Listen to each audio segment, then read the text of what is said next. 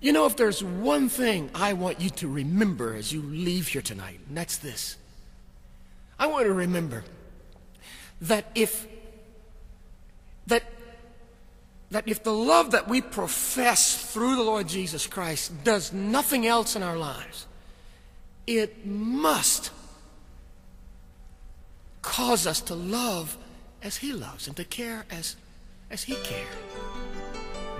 To make our hearts open door.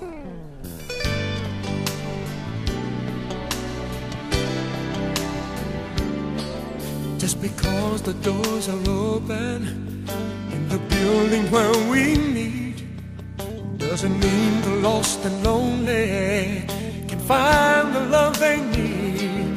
It takes people of compassion whose hearts are open wide so that the hurting ones can know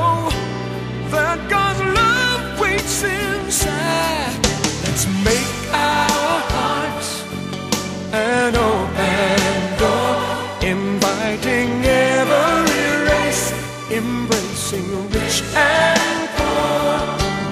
God's kingdom will grow like it never has before.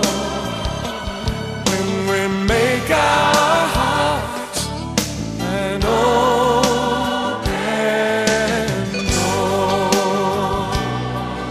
Yeah. We can reach out to the homeless, give them shelter from the storm, offer water to the thirsty, give God's joy to those who mourn, put our